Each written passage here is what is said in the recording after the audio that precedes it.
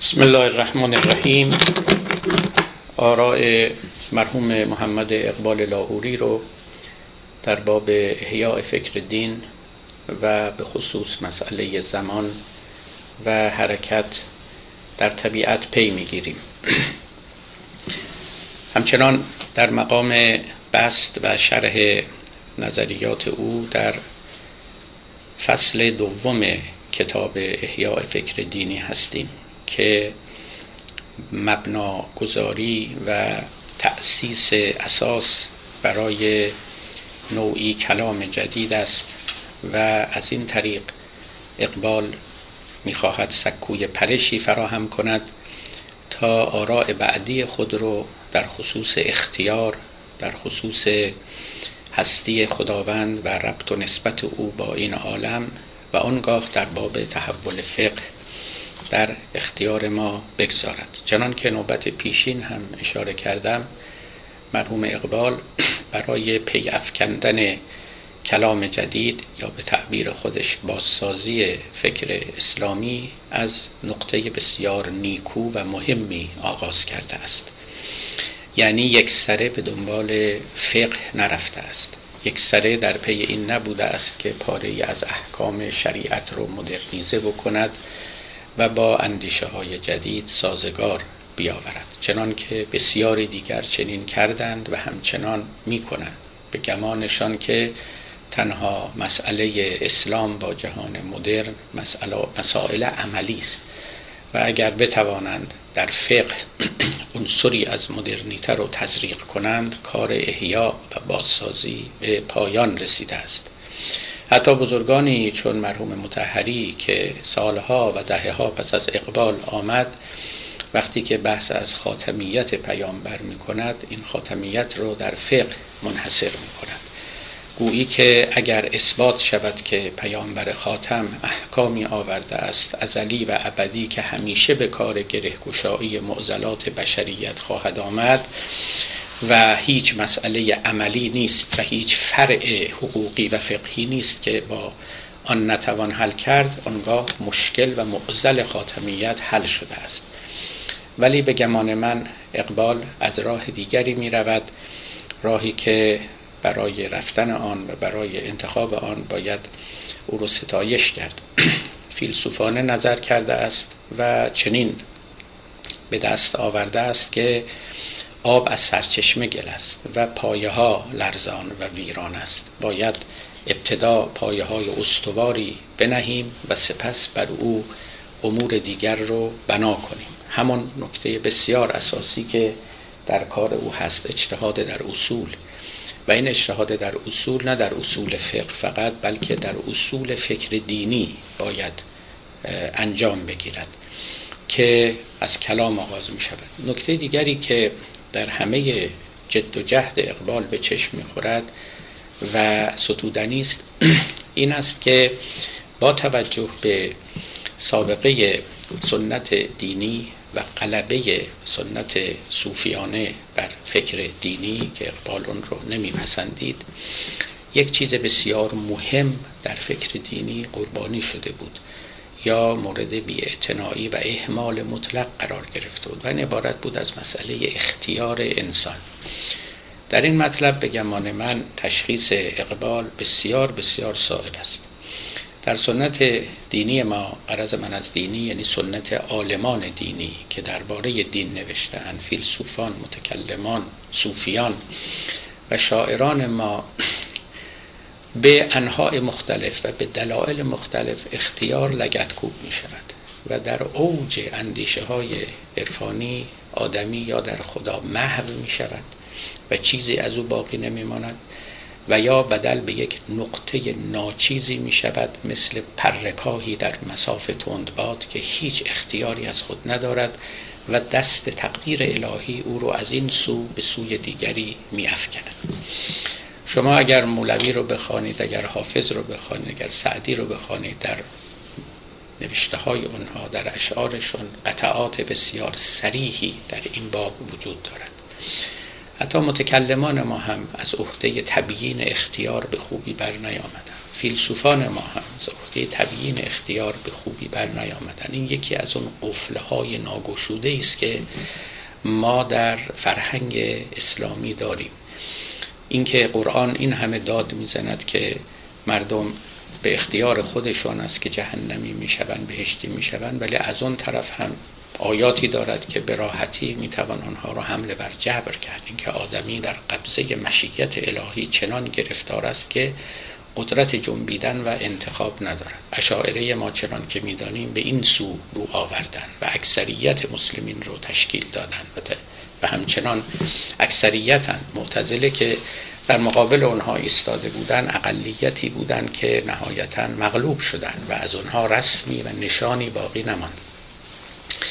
اقبال لاهوری خصوصا این سنت اشعری و این جبریگریشون رو نمیپسندید و در سنت تصوف اسلامی هم به هیچ روی خریدار اندیشه جبر نبود. به درستی فهمیده بود که انسان مدرن انسانی است که بر اختیار تکیه می کند همون مفهومی که بعدها تحت عنوان خودی در اشعار او هم ظاهر شد.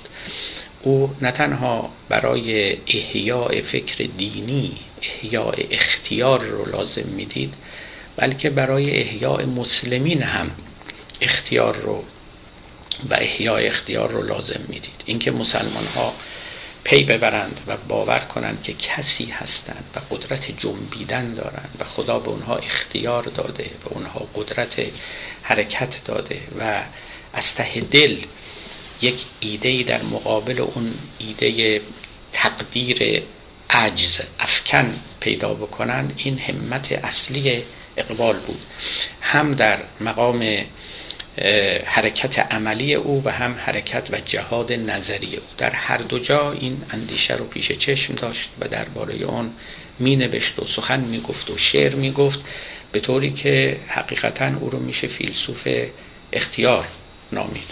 اما اینکه چه مقدار در این امر موفق شده است اون داستان دیگری است. مسئله اختیار اثبات و تثبیت اختیار برای انسان از اون معضلات مردفکنی است که هیچگاه از یک تن نباید انتظار داشت که از عهده حل آن برای یک غول بزرگی مثل مولانا شما اگر در مثنوی بگردید می‌بینید در سطوح مختلف و از وجوه مختلف با این مسئله درگیر شده است. مشکل بتوان گفت که رأی واقعی او در این امر چیست. گاهی تصریح به اختیار می‌کنه گاهی تصریح به عدم اختیار می‌کنه گاهی تصریح می‌کند که این مسئله لاینحل است. گاهی تصریح می‌کند که خود خداوند اون رو لاینحل کرده و قدرتی به عقل آدمی نداده است که از عهده حل او براید که بسیار نزدیک به اندیشه و به آنتینومی های کانت می شود متکلمان ما هم که در باب تکالیف و مخصوصا علمای علم اصول بحث می‌کردن همینطور. عجزشون از حل مسئله بسیار آشکار است. فیلسوفان ما هم همینطور. اونچه که در فلسفه ما میگذرد بنا کردن یک سیستم جبری است که نام او رو سیستم ضروری می‌گذارند و در این سیستم ضروری گویی که آدمیان گرچه خیال می‌کنند اختیار دارند اما فقط خیال می‌کنند اختیار دارند و از اختیار خبری نیست. داستان خیلی مفصلی است و به گمان من اقبال از نقطه نیکویی و مهمی و سرنوشت سازی وارد این جاده شده است و کوشیده است که این جاده را قطع کند در همون جاده نرود راه تازه‌ای بکشد. اما آغاز کار او از تأمل در مفهوم زمان است. اقبال رو میشم فیلسوف زمان نامید ولی البته این نام نام شایسته ای نیست چون اقبال در اینجا از آراء دیگران استفاده می کند اما باز هم به گمان من دریچه و پنجره خوبی رو انتخاب کرده است. از یک مفهوم نسبتا پیش پا افتاده که همه کس می‌داند که چیست یعنی معنای زمان. از اینجا آغاز می‌کنه تا با تدقیق در مفهوم زمان پیش برود و نوعی نوزایی رو در عالم در طبیعت در واقعیت به تعبیر خودش در ریالیتی پیدا کند. و از طریق این نوزایی زمان رو تفسیر مجدد بکند و آنگاه بر جبر فائق آید مفهوم اختیار رو از دل این نوزایی بیرون بکشد و بعد رابطه و نسبت خدا و جهان و انسان رو تعریف کند یا تعریف مجدد کند. که بعدها انشالله به اونها هم خواهیم رسید. به هر حال چارچوب فکر اقبال و نقطه شروع او و همت و هدفی که در کار دارد چنین بود که ترسیم کردم. این سر رشته رو به دست داشته باشید تا وقتی که پیش می رویم به درستی بفهمیم که از کجا آغاز کرده ایم و از چه منازلی و مراحلی عبور خواهیم کرد تا به مقصد برسیم. قبلا در نوبت پیشین اشاره کردم که در فصل دوم اقبال ادله خداشناسی رو چنان که فیلسوفان اقامه کرده اند می آورد و به اختصار آنها رو رد می کند و به اصطلاح فیلسوفان رو سر جای خودشون می نشاند و در همه اون ادله یک نقطه تاریکی می بیند و اون نقطه تاریک از نظر او این استش که خدا از جهان و علت از معلول جداست. و فیلسوفان کوشیدن که خدای رو اثبات کنند که این خدا دیگری است جای دیگری است اما البته یک ارتباطی هم با مخلوق خودش دارد که عالم باشه. به علاوه که فیلسوفان اونچنان که باید در مفهوم ماده و مفهوم زمان از نظر او تأمل نکردند و ماده رو همچنان که علم می‌شناسد یک موجود پسیف انفعالی بیحال و بی اثر دانستند که باید گاهی حیات به او آمیخته شود و گاهی هم سن و نظم الهی دست او رو بگیرد تا منتظم شود.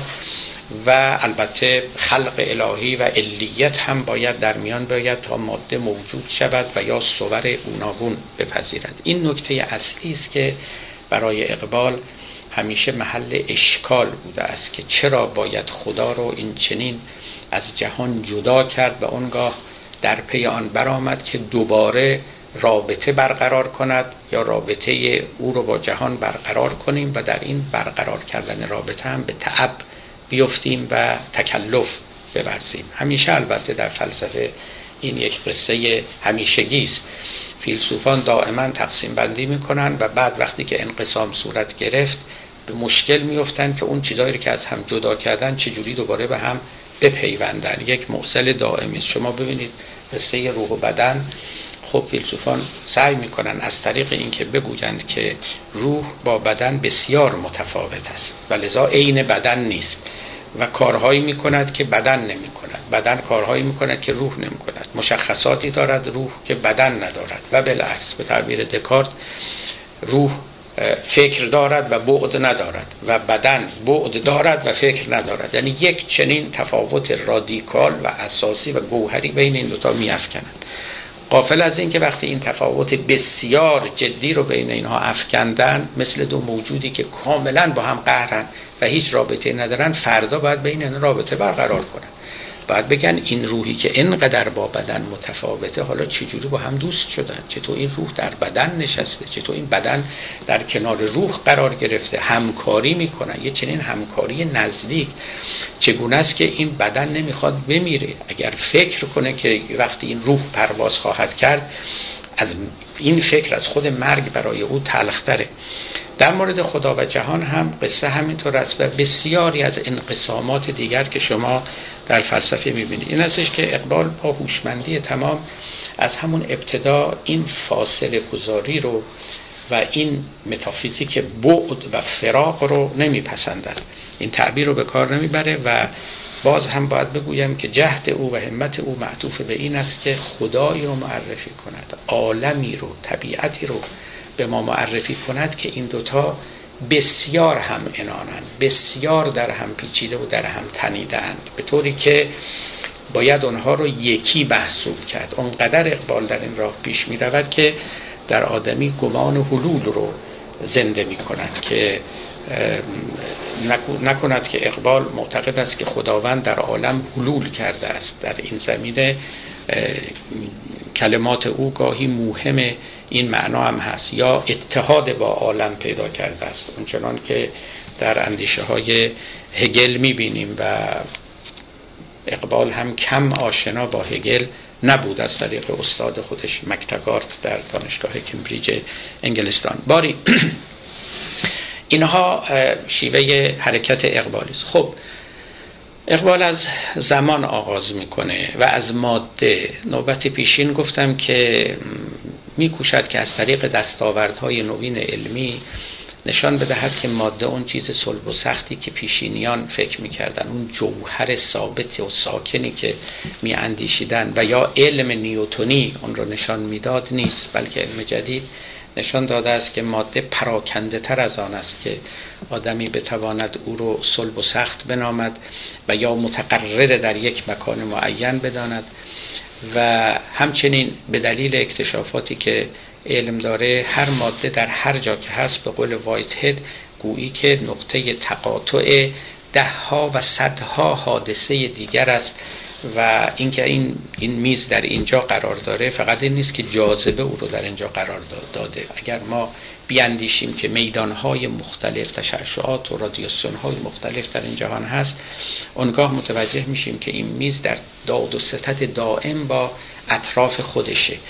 و به این ترتیب به قول وایت هد هر موجودی هر جسم ثابتی هر شیء صلبی مثل این کتاب مثل این لیوان اینا هر کدوم یک حادثه هستند بلکه نقطه اجتماع حوادث عدیده هستند که اگر یکی از آنها نباشه نخواهد بود. اگر فشاری که الان فیلمسل روی این لیوان هست و او رو در این به این صورت نگه داشته این برداشته شود ای بسا که این همه از هم بپاشد و یا اگر افزونتر بشود باز از طریق دیگری بشکند. موجودات عالم این چنینی که ما می‌بینیم به نحو خیلی ظریفی با هم میزون شده اند تعادل با هم یافتن. اندکی تحول می‌تواند همه این تعادل رو به هم بزنه. بنابراین اقبال بر این نکته تأکید بسیار دارد که کل این طبیعت رو باید یک بارچه گرفت؟ و همه چیز در ارتباط با یکدیگر و بنابراین هر موجودی گویی یک حادثه است که در یک نقطه قلیزتر شده است. فیزیکدان های نکته رو امروز به شیوه خودشون و با حال دقت بیشتری ادا می‌کنن. اما وقتی که نوبت زمان می‌رسه اینجا اقبال البته حرفهای بیشتری برای زدن داره و مبدع الهام او هم برکسون است. ولی از هانری برکسون فیلسوف فرانسوی هم در میگذرد به او هم انتقاداتی دارد و پیشتر می رود تا اندیشه زمان رو به نحو دقیق تری برای ما بیان کند. از نسبیت آینشتاین آغاز می کند خوب اقبال این سخنرانی ها رو در 1930 به بعد می کرد وقتی که تئوری نسبیت آینشتاین مدت ها بود منتشر شده بود. نسبیت خاص آینشتاین در 1905 منتشر شد. و نسبیت عامش در 1915 و بلا فاصله هم درباره اینها کتاب های فراوان در فراوان نوشته شد که اقبال نشان می‌دهد که با پاره از آنها آشنایی داشته اونها رو خوانده و به اندازه ای که دانش فلسفی او و علمی او اجازه می‌داده از آنها بهره برده و استفاده کرده. پیداست که مثلا آثار کسی چون بهتران راسل رو که به خصوص در باب توابع و توالی فلسفی نسبیت آینشتاین سخن گفته بود خوانده و از آنها هم در نوشته خودش یاد کرده. اقبال به درستی به ما می‌گوید که نظریه آینشتاین راجع به ماهیت زمان به ما چیزی نمی‌گوید و این حرف درستی است. خیلی خواستن از نسبیت آینشتاین در باب ماهیت زمان نظریه ای رو استنتاج بکنن. این البته از همون روز نخستین بر یک عده از محققین روشن بود که اندیشه نادرستی نه فقط در مورد زمان علم در باب ماهیت هیچ چیز به ما هیچ چیز نمی‌گوید. علم خصوصا علم تجربی که ما امروز با او سر و کار داریم بیش از هر چیزی با اندازهگیری سر و کار دارد. و لذا از او انتظار نباید داشت که راجع ماهیت زمان ماهیت مکان ماهیت حیات ماهیت الکتریست حرفی بزند. این چیزا نیست. علم به یک رشته زواهری و ابزرویشن های دست داره برای اونها تئوری می‌سازه و این تئوری ها عموما از حد زواهر بیشتر می‌روند. بعد پیش بینی هایی دارن پیش بینی ها به محک تجربه نهاده می شود و نتیجه گیری میشه. گاهی تئوری مورد تغییر قرار می‌گیره گاهی کلا بر می افته اما هیچ کسی بحث از ماهیت اشیا نمی کند اینها رو به فیلسوفان سپردن پاره‌ای از عالمان هم مثل پوزیتیویستا معتقدند که فیلسوفان هم در این باب حرفی برای زدن ندارند.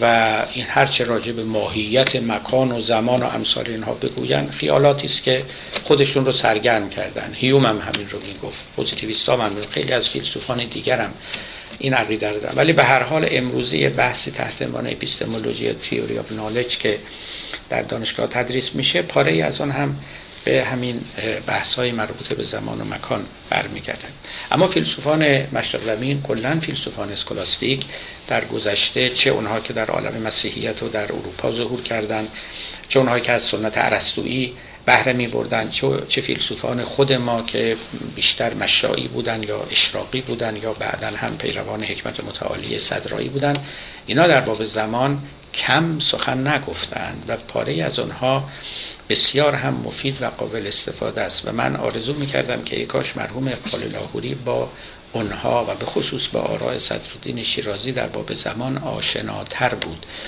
و اگر چنان بود خیلی از سخنانی رو که در این کتاب آورده می توانست محکمتر، استوارتر، مبرهنتر و در ضمن اصطلاحات فلسفی چکش خورده بیاورد و سخن خود رو هرچه متقنتر بکند. پر پیداست که اقبال از ورای همون هجاب اندیشه خودش میکوشیده که به مسئله زمان نظر کنه و این راز ماهیت او رو بگشاید. و توفیق کمی هم نیافته است. به هر حال از نظر اقبال تئوری آینشتاین خب ماهیت زمان رو به ما نشان نمیده واقع این استش که در باب نتایج فلسفی نسبیت نسبیت آینشتاینی مبالغه بسیار شده است. و مقالطه بسیار شده است. من گاهی دیدم که بعضی ها اصلا این نسبیت آینشتاینی رو تعمیم دادن به همه جا که نه تنها در فیزیک نسبیت داریم بلکه همه جا نسبیت داریم تو علوم انسانی داریم در اخلاق داریم در کجا داریم. سخنانی که واقعا فقط از بیخبران باید شنیده شود. این کلمه نسبیت برای خیلی ها وسوسه انگیز است و گمان می‌کنن که با این کلمه می‌توانند قفل بسیاری از مشکلات رو باز کنند در خود فیزیک هم این نسبیت همچین نسبیتی نیست که به خیال بعضی از خیال پردازان میاد اولا به قول ماکس پلان که همکار آینشتاین هم بود خود این نسبیت فیزیکی آینشتاین بر یک مطلق بنا شده بر ثبات سرعت نوره یعنی اصل ابجکتیوی که آینشتاین نسبیت خودش رو بر او بنا می نهد این استش که نور یک سرعت مطلقی دارد. مطلق یعنی همه جا یکسان است و خود سرعت نور در شرایط مختلف تغییر نمی کند اگر این تغییر می‌کرد ما اصلا نسبیتی نداشتیم. دوم اینکه نسبیت آینشتاین در واقع متعلق به فیزیک اندازه‌گیری است. یعنی مربوط به اندازه‌گیری زمان است. ربطی به خود زمان ماهیت زمان اونطوری که فیلسوفان میگن نداره اصلا. لذا از این نظریه شما هیچ چیزی نمی‌تونید راجع به حقیقت زمان هرچه که هست بیرون بیاورید. برای اینشتین همطور که برای هر فیزیک داره زمان یعنی ساعت.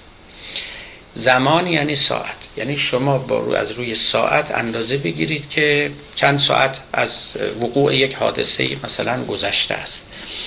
اون وقت از نظر انشتن اگر ما با سرعت نور حرکت کنیم ساعت یک چیزی رو نشان می‌دهد. اگر با سرعت 9 درصد نور حرکت کنیم ببخشید 90 درصد نور حرکت کنیم زمان نصف اون رو نشان می‌دهد.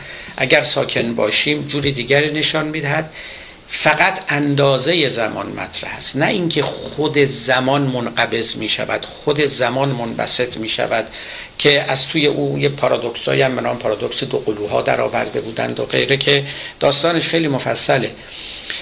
اینا به گمان من همش بدفهمی این نظریه است. اولا این نظریه بر اساس چنان که گفتم ثبات مطلق سرعت نور بنا نهاده شده است. اصلی که تا همین امروز یعنی در سال 2012 میلادی که ما نشسته ایم یعنی در اوائل قرن 21 تا امروز ابطال نشده است. آنهایی که با تاریخ فیزیک آشنا هستند می‌دانند که مقدمات تئوری آینشتاین چه بود و چه شد که او به این طرف آمد و مخصوصا تئوری اتر که توسط تئوری نسبت آینشتاین ابطال شد و چیزی که در نوشته های اقبال همچنان دیده می شود مقدماتی بود که نهایتا به حال منتهی شد به نظریه نسبیت. نظریه نسبیت هم تا امروز به لحاظ تجربی پاسخگوی معضلات فیزیک بوده و حتی پاره از پیشبینی های او هم درست از آب در آمده است. و به همین سبب تا امروز هم دانشمندان و فیزیکدانان از او دست نکشیدند و پیرو او هستند مگر اینکه بعدها تئوری کاملتری بیاد نقصانهای این تئوری رو نشان بدن. و به طور کلی هم تئوریست متعلق به سرعتهای بالا.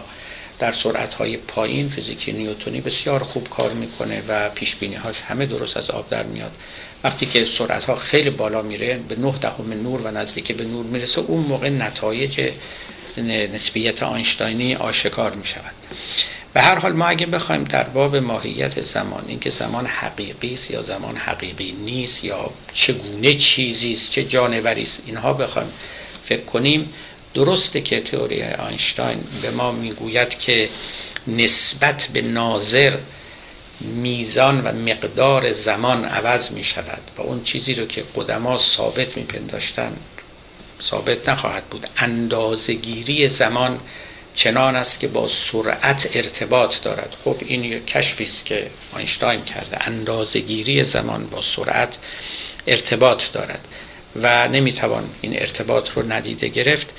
اما چنان که گفتم از او نمی‌توان خواست که به ما بگوید حقیقت زمان چیست. لذا اقبال هم گرچه که به نظریه آینشتاین اقبالی نشان می‌دهد اما نهایتا متوجه می شود که این نظریه به کار او نمیاد و از این طریق نمی‌تواند بار خود رو بار کند مسئله زمان رو حل کند و اون اختیار و غیره رو که بعدها می‌خواد استنتاج کند از او استنتاج کند. لذا بعد از آینشتاین اقبال رو به برگسون میآورد هنری برگسون که او رو هم واقعا او رو فیلسوف زمان باید دانست. برگسون مهمترین کارش همون کتاب تکامل خلاق است creative evolutionary ببخشید creative evolution که در او از یک چیزی به نام élan vital یا شور حیاتی نام می‌برد و مفهوم زمان رو با مفهوم حیات گره می‌زند. و به طور کلی به ما می آموزد که زمان یک امر بسیار عمیقتر از آن است که ما تصور می کنیم ببینید در تصور عام زمان گویی که یک خط است. همه ما فیزیکدان ها غیر فیزیکدان ها با سواد و بی سواد فکر می‌کنن یک رود جاری است زمان. که به خودی خود در حال گذر است. ما باشیم ما نباشیم ما بیدار باشیم خواب باشیم کاری بکنیم نکنیم زمان بر خودش میگذره مثل یه رودی که بر خودش جریان داره. خب این البته بسیار تصور خامی است حقیقتا. برای اینکه زمان ظرفی نیست همچنان که مکان ظرفی نیست که حوادث رو در او ریخته باشند. علت اینم که ما زمان یه چنین مفهومی رو به ما تحمیل می‌کنه این استش که ما نمی‌تونیم اصلا هیچ چیزی رو بی زمان فرض کنیم. حتی اگر برگردیم به عقب عقب عقب بگیم آغاز آفرینش کجا بوده باز هم ذهن ما از ما می‌پرسد که قبل از اون آغاز چه خبر بوده. و همین که میگیم قبل از اون دوباره وارد عرصه زمان میشیم. این همون چیزی بود که کانت بر روی او انگشت تأکید نهاد و گفت این نشان میده که زمان و مکان البته از نظر او جزو سور فاهمه ما هستند. یعنی یه چیزی هستن تو ذهن ما و لذا ما نمی‌تونیم ازشون فرار بکنیم. نه اینکه در عالم واقعیتن. نه اینا هر چی رو ما می‌خوایم تصور کنیم باید بنشانیمش در زمانی و در مکانی. اصلا فراتر از اون نمی‌تونیم بریم. این قدرت رو خدا به ما نداده. و درک ما اصلا درک زمانی است. و همین دلیل هم معتقد بود درک ما ورای طبیعت ناممکنه و البته مسئله اثبات خدا ناممکنه و بسی چیزهای دیگر که متعلق به فلسفه اوست. اما این مقدار رو میشه قدری تدقیق کرد و با اقبال با کسانی که این دقت ورزی رو کردن موافق بود که به هر حال زمان پیچیده تر از آن است که فکر کنیم که یه ظرف خالی است که حوادث رو در او ریختند و یا یک رود جاری است که همینطور به حساب خود پیش می رود و بی به ما روز شب می شود شب روز می شود و اینا. پس از تأملات نسبتا ساده ای بود که عموم فیلسوفان به این نکته در به این نکته رسیدن که زمان با حرکت یا با تغییر یک نسبتی دارد. نسبت خیلی وسیقی هم داره. حرکت که میگیم لزوما حرکت مکانی رو اراده نمی کنیم هر تغییری رو که حرکت مکانی هم یکی از اون است فیلسوفان به این نکته رسیدن که تغییر با زمان یک همبستگی دارد. به طوری که می‌توان گفت که زمان فرزند حرکت است.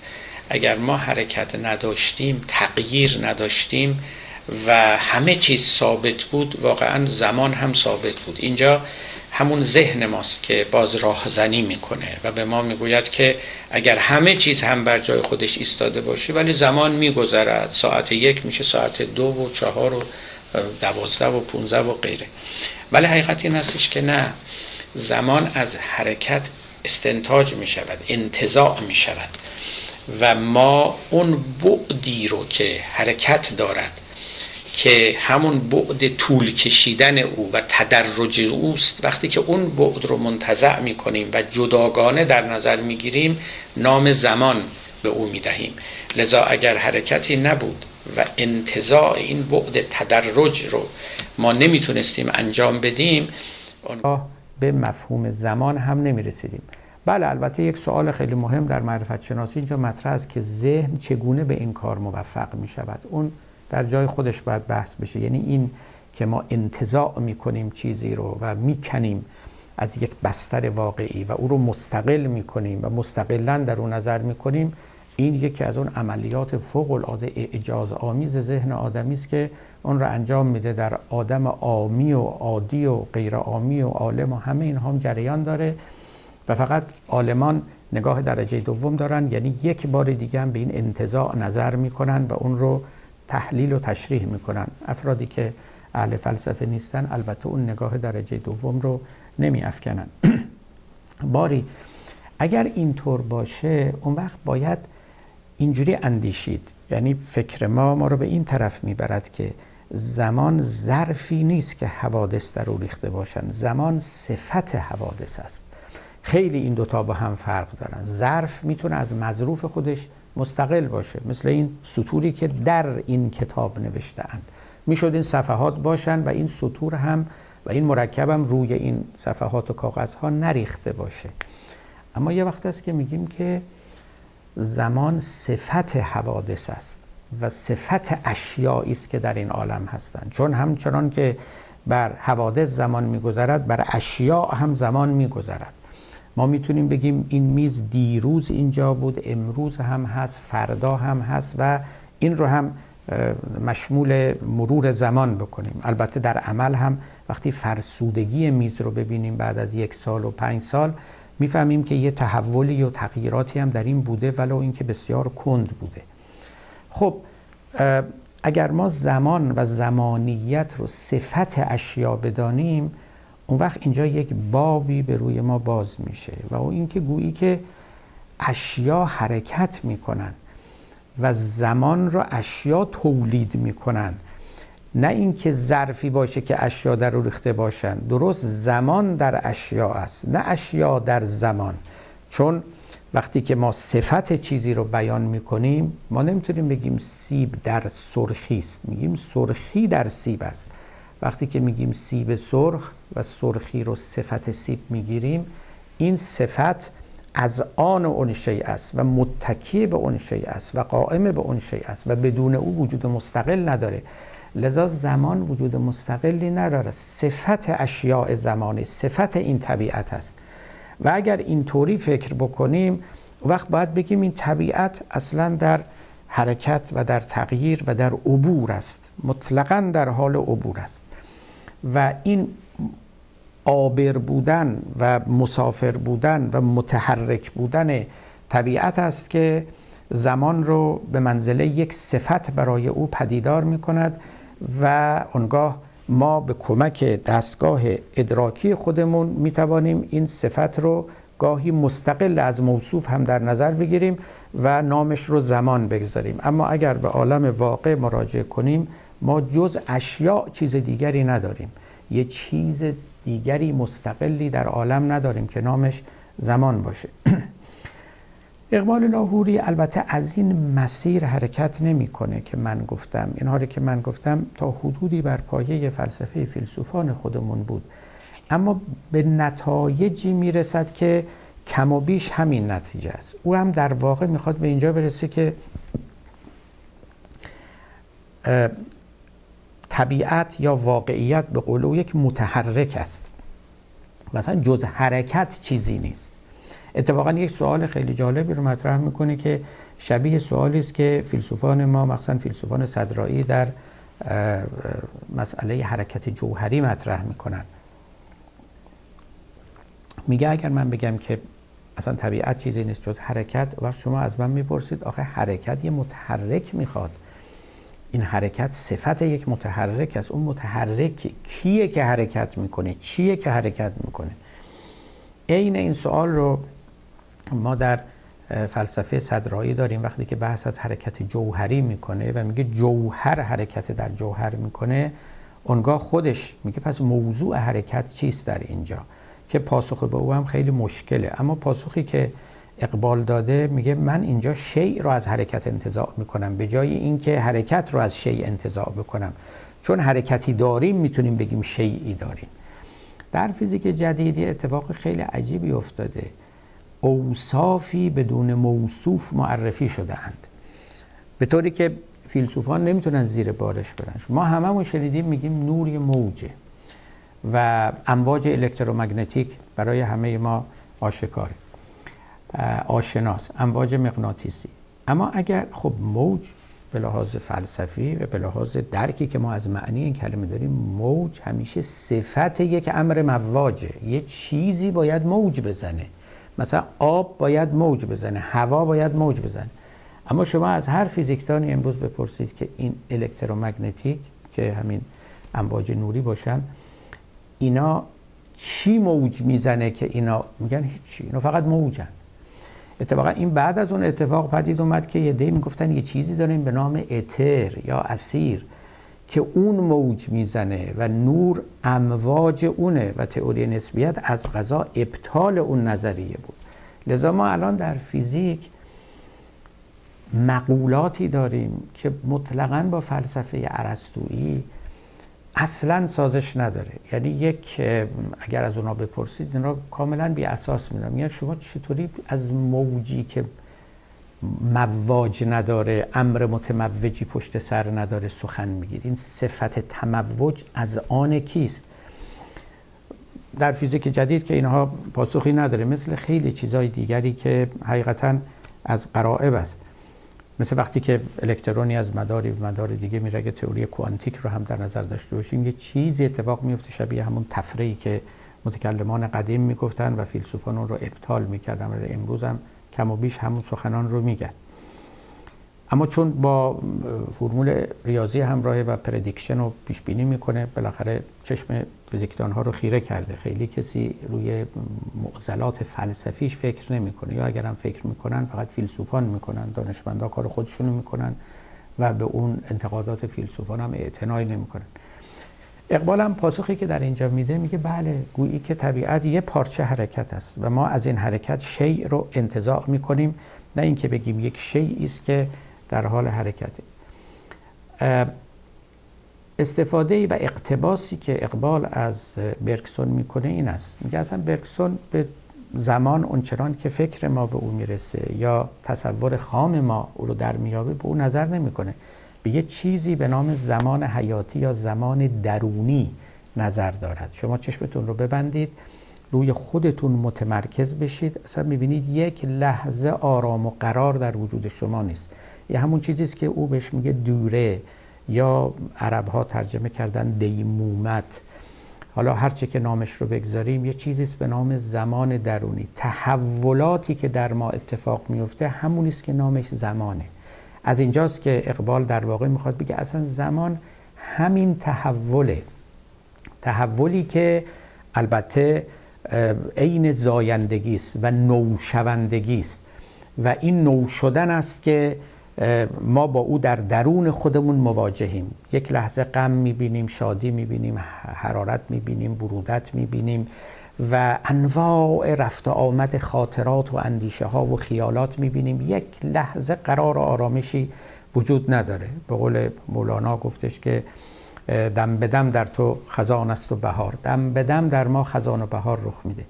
اگر ما اینجوری به زمان نظر کنیم یعنی یک موجودی که اصلا ناآرامی عین وجود اوست. همون حرکت جوهری که ملا صدرا میگو. وقت در اون صورت اقبال به ما می‌گوید برکسون به ما می‌گوید ما به ماهیت زمان داریم نزدیکتر میشیم. مثل اینکه یه کوره است یه چشمه است که دائما از او چیزهای نو بیرون میجهد. تکرار در اونجا نداریم. بی زمانی یعنی تکرار یعنی رکود. اما زمان یعنی نو شدن. و باز از مولانا اگر بخوایم مثال بزنیم گفت هر زمان نو می شود دنیا و ما بی خبر از نو شدن اندر بقا. این نو شدن از نظر اقبال لاهوری تفسیر علمی ندارد. من باید ارز کنم که تا امروز هم این قصه از قصه های خیلی جدی در فلسفه علم است که آیا اولا ما نو شدن امرجنس در عالم داریم یا نداریم؟ و اگر داریم آیا اینو می‌تونیم بر مبنای قوانین فیزیکی و شیمیایی تبیین کنیم و به اونها ردیوس بکنیم یا نه. حقیقت این است که در اینجا ما معضلاتی داریم و هیچ اجماع نظری و توافق و اتفاقی بین دانشمندان علوم فیزیکی و بیولوژیست ها و فیلسوفان علم وجود نداره. اقبال هم بر همینجا انگشت می‌ذاره. میگه ما از این تأمل درونی از این introspection و درون نگری به یه مفهومی راه میابیم که نام او زمان واقعی است. یعنی همون نو شدن وجود. و این نو شدن وجود در ما آدمیان که واجد حیات هم هستیم و واجد شعور هم هستیم که هر دوتا دو تا حالتند دو تا صفتند که بر ماده مرده افزوده شده اند و موجود حی رو پدید آوردن بهتر از هر جای دیگری قابل دیدن و شناختن است. با این تعمل درونی ما به زمان پی می‌بریم. به مفهوم و ماهیت زمان. نه اینکه با نگاه به حرکت های بیرونی با روز آمدن و شب رفتن و با اینکه یه گلوله فیلمسل بر روی زمین به قلتت نه نه. ما اونا زمان سریاله ولی زمان واقعی که ماهیتی و هویتی جز تحول و جز رو به جلو رفتن جز جهیدن جز نو شدن معنایی نداره. ما این رو در خودمون می‌تونیم ببینیم دائما. و اتفاقا اساسا اقبال حرفش این است که این نو شدن و این پدیده حیات پدیده ای نیست که هیچ وجه قابل تبیین با اصول علمی باشه. از اینجا هم در واقع اقبال راه خودش رو جدا می‌کنه. نه تنها حیات اصلا یک نمونه بسیار عالی و بلکه اعلا از نو شدن است و می‌تونه زمان رو به ما بشناساند و در مشت ما قرار بده بلکه خودش هم از اون پدیده های خیلی عجیبی است که از رفتن زیر بار تحلیل علمی فیزیکی شیمیایی سرباز می‌زنه. از نظر اقبال در حیات ما با یه چیزی روبرو هستیم که به او میگیم قایت به او میگیم مقصد در حالی که در ماده مرده بی حیات چنین چیزی روبرو نیستیم. ما قایت و مقصد رو نمی‌توانیم در ماده بی حیات ببینیم. اما حیات برای خودش مقصدی داره و این ریپرودکشن داره. خودش خودش رو تمدید می‌کنه تجدید می‌کنه. خودش خودش رو اصلاح می‌کنه و خودش از خودش حفاظت می‌کنه و اینها پدیدارهایی است که در ماده مرده نیست. البته اقبال مال دورانی است که به حال وقتی این کتاب می نوشت از هفتاد سال پیش بود یا اون سخنرانی ها رو می‌کرد. امروز در ماده همین ماده ای که به اصطلاح ماده مرده مینامن توانایی های کشف شده که شاید پاره از این سخنان اقبال و دانشمندانی که هم رأی او بودند رو سست کند. یعنی از استواری و اتقان بیاندازد دست کم محل شبهه و مناقشه قرار بدهد. اما هرچه که هست مفهومی که او از حیات داره از فکر داره در حال به او می‌گوید که حیات از ماده بر نمی آید و یک پدیده متفاوتی است و به کمک قوانین حاکم بر ماده هم تبیین نمی شود. بنابراین حیات یک تافته جدا بافته است. بنابراین ایولوشن و قانون تکامل بر او حاکم نیست. نمی‌توان گفت که ماده تکامل و پیچیدگی پیدا کرده شده حیات شده موجود زنده. اگر این را نتوان گفت آنگاه حیات یک اصلا تاریخ مستقل از ماده داره و تقدم بر ماده داره و آمده و بر ماده سوار شده و لذا اصلا واقعیت از نظر او قبل از این که مادی باشد حیاتی است یا روحی است به اصطلاح. و این روح اصالت داره و ماده گویی که یه پرده یک جامعه یک هجابی است که بر تن حیات شده است. و این حیات هم چیزی نیست جز حرکت و جز زمان که وصف اوست و حقیقت اوست و ماهیت اوست و چیزی جز پیشروندگی و زایندگی و جوشندگی نیست. وقتی که به اینجا می‌رسه اصلا به طور کامل می‌بینید که اصلا یک تصویر دیگه از این عالم به شما میده. به جای اینکه شما بگید عالم از ماده شروع شود بگید از حیات آغاز شده. و این حیات آمده و ماده رو زیر سلطه و تسخیر خودش قرار داده. به جای اینکه بگید زمان بر این ماده مرده میگذرد بعد بگید زمان در عمق این وجود حیاتی که اصلا عین زماندار بودن است رخ می‌دهد. و نو شدن چیزی است که ذاتی اوست. و اگر این رو شما بپذیرید اونگاه اقبال به همون نتیجه می رسد که آینده باز است. آینده از پیش توسط قوانین ماده و مکانیک تعیین نشده است. ما قضا و قدر و تقدیر به این معنا نداریم. اقبال در اینجا اشاره به آیات قرآن هم می کند که چند بار و در چند جا و در چند سوره خداوند راجع به رفت و آمد شب و روز سخن گفته است. اقبال اونها رو شاهد میاره بر اینکه قرآن و معلف قرآن و خدای قرآن و پیامبری که این قرآن را آورده به این قصه زمان وقوف داشته.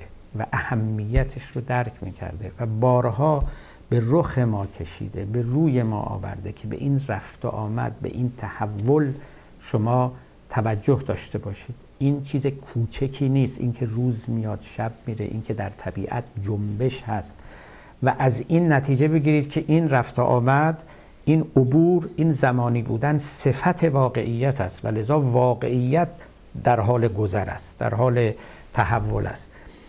اقبال اتفاقا این تقابل رو هم در قرآن نشان میده. میگه از طرفی در قرآن ما داریم که خداوند جهان رو در شش روز آفرید. ولی از طرفی هم داریم که و ما امرنا الا واحدتون کلمهن بالبصر. کار ما کار الهی ما که خلقت باشه در یک چشم به هم زدن صورت می‌گیره. یعنی از یک طرف زمانی و کشدار ولی از یک طرف هم گویی که در لازمان اتفاق میفته و از هر دو جنبه باید به این واقعیت نظر کرد. باری اقبال به اینجاها که می‌رسه دیگه در واقع میشه گفت به آستانه مقصد خودش است. جهانی رو برای ما نمودار کرده است که سرتاپا حیات است و ماده در تسخیر حیات است به جای اینکه مولد حیات باشد چنان که در تئوری ایولوشن گفته می شود و این حیات عین نو شدن است عین قایت دار بودن است عین حرکت رو به یک مقصدی است. اما این مقصد مقصدی نیست که از پیش تعیین شده باشه. این مقصدی است که از دل خود این حرکت بیرون میاد. به همین دلیل هم می‌گوید که تقدیر الهی تقدیری نیست که از بالا بر موجودات تحمیل بشود بلکه خود امکانات و قوه ها و پتانسیل هایی که موجودات و واقعیت ها دارند اونها رو به پیش میراند و لذا از نظر او تقدیر یعنی تحقق یافتن امکاناتی که موجودات بالقوه دارند و در اثر این نیروی حیاتی به اونها می‌رسن و اون قوه ها رو فعلیت میبخشند. به اینجا که می‌رسه در واقع می‌توان گفت که گویی اقبال به مقصود خودش نزدیک شده. فقط یک نکته میماند که دفعه قبل هم به او اشاره کردم الان هم می آورم و یادآوری می‌کنم. اقبال در واقع با این سخنان خودش دیگه فاصله بین خالق و مخلوق نمی افکند و به یک اعتبار می‌گوید که خدا در طبیعت است طبیعت در خداست. و بعد هم اشاره می کند که خب این تحولی که من در طبیعت به او اشاره می کنم آیا میشه گفت که در خدا هم هست؟ چون وقتی که این همه ما اینا رو به هم نزدیک کردیم خالق و مخلوق رو لابد صفت یکی به دیگری هم سرایت پیدا می‌کنه. در اینجا از ابن حزم یکی از دانشمندان اسلامی نقل می‌کنه که شاید به همین دلایل بود که او می‌گفت ما نمی‌تونیم بگیم خدا زنده است. برای اینکه زنده یعنی حرکت زندگی. اما چون قرآن گفته خدا زنده است ما هم این رو به کار می‌بریم. اما اگر ما بودیم فلسفه بود و این استنتاجات و ادله فلسفی اطلاق مفهوم حی بر خداوند بسیار دشوار بود. اقبال می‌گوید که خب درک او از حیات این بوده و فکر می‌کرده که تغییر همیشه تغییر مکانیکی است. همیشه تغییر به معنای رفتن از نقص به کمال است. بعدم میپنداشته که در مورد خداوند اگر چنین رأیی رو صادر کنیم وقت معناش این است که خداوند کامل نیست و از نقص رو به کمال میره. ولی اقبال معتقد است که نه. ما یه جور حرکت رو یک جور نوشوندگی رو یک مفهومی رو که خلاصه ضد رکود است و عین حیات هست یه موجود زنده ای که با نشاط هست کار می‌کنه. ما اینو باید برای خدا قائل باشیم. اینه هم که در قرآن آمده و اقبالم اشاره می‌کنه کل یوم هو فی شن هر روز خداوند مشغول یک کاری است که میگه ما برای این باید یه جا باز کنیم. نمی‌تونیم بگیم که خداوند محبوس در وجوب وجود خودش نشسته دست به سیاه و سفید نمی‌زنه یک ذره تکون نمی‌خوره مبادا ذاتش عوض بشه. یه چنین خدایی رو ما چجوری می‌تونیم نسبت بدیم با یه عالمی که طبیعتی و واقعیتی که عین حیات است و عین نوشوندگی است. این نو شدن از کجا میاد؟ اگر حقیقتا خلق مدام داریم ما باید یک نوعی از حرکت تحول حیات هر چه اسمشو می‌گذارید برای خدا هم باید قائل باشیم. اقبال خیلی دقیق است در اینجا و مواظبه که سخنی نگوید که به حال با اصول و مسلمات اندیشه دینی و اسلامی منافات داشته باشه. اما به گمان من از راه خوبی وارد شده. میگه ما بالاخره مفهوم حیات رو باید بکاویم. ما آیا مجازن میگیم خداوند زنده است یا حقیقتا برای او زندگی قائلیم؟ و این زنده بودن آیا با نوعی نو شدن و کار کردن و نشاد همراه هست یا نیست؟ هر جوری که فکر می‌کنیم باید چنان فکر کنیم که اینها کنار نرود و ستم به این اوصاف نشود و حیات الهی در, در کنار دیگر اوصاف او محفوظ بماند و لطمه ای نخورد. به حال این فصل با همین سخنان محمد اقبال در باب خداوند و با پاره از اشعار گوته به پایان می‌رسد. اقبال در واقع جاده رو دیگه کاملا کشیده و مسیر رو آماده کرده است برای اینکه وارد فصل بعد بشود. مسئله خدا رو با تشریح و تفصیل بیشتری بیان کند مسئله دعا و عبادت رو بیان کند و رفته رفته پیش برود قصه اختیار رو و قصه تحولی رو که در فقه و در درک ما از شریعت باید رخ بدهد اونها رو هم بیان کند. اختیار هم برای اقبال چیزی نیست جز همین که آدمی دائما امکانات خودش رو و فعلیت های خودش قوه های خودش رو به فعلیت میرسونه. امکانات خودش رو متحقق می‌کنه در اثر یک شور حیاتی که دروست و امری که عین ذات اوست و از بیرون به او تحمیل نمی شود کافی است آدمی بتواند اثبات کند که کاری رو که می‌کنه خودش می‌کنه نه اینکه یک نیروی از بیرون به او تحمیل می‌کنه. اگر چنین چیزی باشه اختیار صد درصد ثابت شده است.